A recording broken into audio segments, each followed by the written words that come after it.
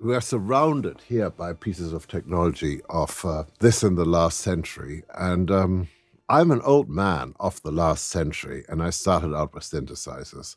And so it's an obvious thing that I would want to go and work in immersive audio. It's an obvious thing that I would want to go and figure out how best to use something like the OnePlus Buds Pro 2 because they give me the ability to use all these wonderful, naughty toys and make a great racket within my head. I mean, one of the things which has been bugging me for as long as I've done movies is when I work on the movie, I basically create this beautiful sound field, this spatial environment in which the sound lives because movie theater automatically has, you know, left, center, right, and surrounds, and now it has Atmos and it has all these other things. But I have to make a CD or I have to do any form of, of streaming, it usually just becomes stereo. So I, I lose more than half of my sound field. And I want to get this track, which was written for the Ron Howard film Rush,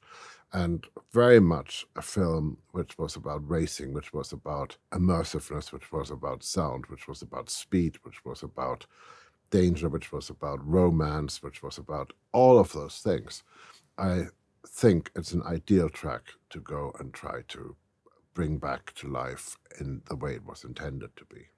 So EQ to me, for instance, is is colors, and it, it, it's just like using a paint box. So I can go and, and, and color my sounds with it. So what you have to do is within that recording, you have to go and in a funny way exaggerate the moments of performance. EQ, for instance, is a great way of like even though people are playing full out, you know, you, you, you get a way of, of sort of giving it punch and at the same time not making it horribly, horribly aggressive. I mean, there are frequencies you just wish wouldn't exist on this earth. And then there are other frequencies you never quite get enough of. The way a normal audience imagines that a bass drum sounds is nothing the way a bass drum sounds because we EQ the living daylights out of this thing. We put compressors on, we put eh, bags of EQ onto the thing. You know, one of the first records I've ever been involved with, Video Killed the Radio Star, had one of the loudest bass drums. I think it probably did have the loudest bass drum at that point. And after that, everybody else was just trying to beat us. So when disco came along, the whole bass drum thing changed.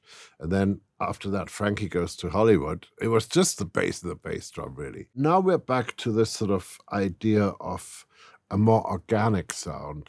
And even though it's a more organic sound, it's still a completely artificial sound.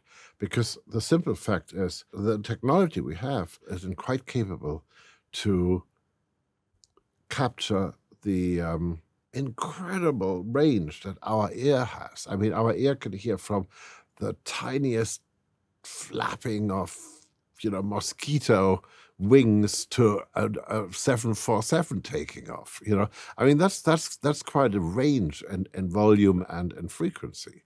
So where EQ comes in handy is this if you want to get rid of the mosquito but want to keep the plane all the other way around, you know. It's a painterly tool. The OnePlus Buds Pro 2 allow a certain amount of intimacy to come out through the music that is vital in getting you to feel the emotion of a piece of music, that the subtleties, the quietness, not just the bombast, not just the big noises, actually registering and move you in the way it was intended to. It's going to take the listening experience to a higher, more refined level.